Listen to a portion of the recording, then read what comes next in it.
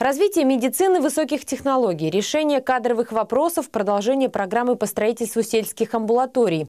В региональном Минздраве рассказали о планах развития системы здравоохранения на 2017 год. Подробности в нашем материале. Более 15 тысяч жителей республики завершили первый этап диспансеризации на начало этого года. Причем в ходе обследования чаще всего выявляли именно болезнь системы кровообращения – более 20%. И еще несколько лет назад в Мариэл были открыты первичные сосудистые отделения в городах Йошкар-Ола, Волжск, а также в поселке Сернур. На базе Йошкар-Олинской горбольницы параллельно организовали и региональный сосудистый центр. В 2016 году в Мариэл было проведено 460 операций по стентированию сосудов сердца. И это для региона достижения. Еще каких-то 7 лет назад возможности для развития высокотехнологичной медицины в Мариэл не было. Первый год, когда у нас объем высокотехнологичной помощи, оказанной в учреждениях республики, превысил объем, который люди получили в федеральных центрах. Я считаю, это большое достижение. И при этом я сразу могу сказать, не взамен – то есть мы не снизили объем, который наши люди получают в федеральных центрах. Мы увеличили в общем объем. Это в 2,3 раза больше, чем в 2012 году. Обнадеживающие тенденции. В республике активно развивается такой вид медицинской помощи, как эндопротезирование тазобедренных суставов. Такие операции теперь делает не только Республиканская клиническая больница, но и с прошлого года Волжская центральная горбольница. Это одна из возможностей продлить активное долголетие жителей Мариэл. Так, самой пожилой пациентке, которой вставили эндопротез, исполнилось 92 года. У нас сегодня оперативные вмешательства при переломах шейки бедра – Операция выбора является эндопротезирование. Раньше больные – это люди пожилого возраста, старше, как правило, старше 70, старше 80 лет.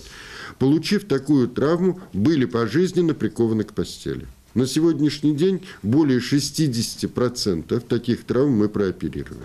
Задача, поставленная региональным министерством, максимально активизировать амбулаторно-поликлиническую помощь. Потому в этом году поезд здоровья продолжит колесить по районам республики. Впервые в 2017-м к мобильной форме работы подключатся и врачи-гериаторы. Их задача – комплексное лечение, чтобы качество жизни после перенесенных болезней у пациентов преклонного возраста не ухудшилось. Прием будет вестись в центральных районных больницах и в здравпунктах, строительство которых, кстати, планируется продолжить. Распоряжение главы есть. Мы подготовили э, предложение по строительству шести фельдшерских здравпунктов и двух фельдшерско-акушерских пунктов.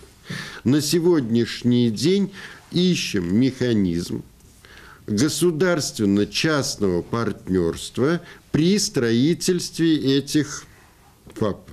Обеспеченность региона профессиональными кадрами – особый вопрос. Сегодня в Мариэл трудится более двух тысяч врачей. Но этого недостаточно. 283 специалиста еще необходимы. Республика нуждается в педиатрах, терапевтах, акушерах-гинекологах, врачах скорой помощи, анестезиологах, хирургах, неонатологах. И тут мнение министерства однозначно. Каждый целевик должен вернуться в республику. Раньше мы столько в суды не обращались. Теперь мы по каждому кто не вернулся, кто пропал, обращаемся в суд и через суд пытаемся либо взыскать средства, потраченные на подготовку, либо заставить его все-таки исполнить свои обязательства. Свою очередь, министерство обязуется выполнять майские указы президента страны и утвержденную в регионе дорожную карту. По врачам по итогам года мы достигли показателя 32 042 рубля и 153,2% к среднемесячному доходу трудовой деятельности.